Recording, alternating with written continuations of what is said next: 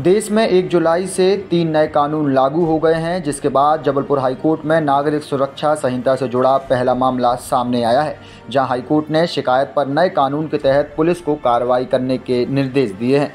दरअसल, यह याचिका कथावाचक पंडित धीरेन्द्र कृष्ण शास्त्री पर आपत्तिजनक टिप्पणी करने पर लगाई गई है। जहाँ कोर्ट ने अपने फैसले में कहा है कि बागेश्वर धाम के धीरेन्द्र कृष्ण शास्त्री पर अशोभनीय टिप्पणी पर पुलिस केस दर्ज करे, समय सीमा में जाँच भी करे। यदि इस मामले में एफआईआर नहीं बनती है तो पुलिस याचिकाकर्ता को इसकी लिखित कॉपी भी दे।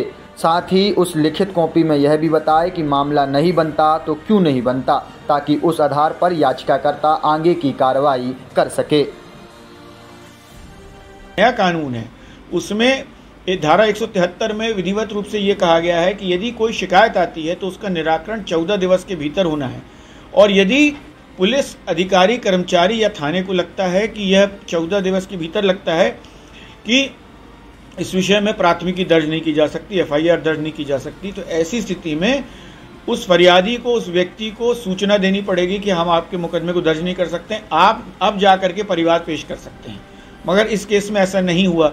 माननीय उच्च न्यायालय ने कहा कि हर बात में निचली अदालत में जाने से या अदालत या पुलिस के चक्कर लगवाने से व्यक्ति का शिकायत जो है वो खराब होती है क्षुब्ध होती है और उसको फ्रस्ट्रेट होती है।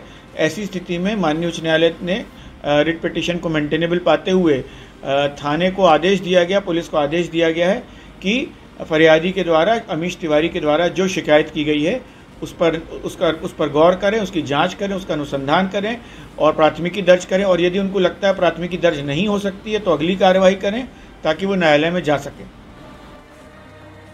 एक जुलाई से लागू नए कानून के बाद नागरिक सुरक्षा संहिता 2023 के तहत संभवतः यह मध्य प्रदेश हाईकोर्ट का पहला आदेश था। इस दौरान कोर्ट ने नागरिक सुरक्षा संहिता की व्याख्या भी की, जहाँ कोर्ट में याचिकाकर्ता की ओर से पैरवी सीनियर एडवोकेट पंकज दुबे ने की थी।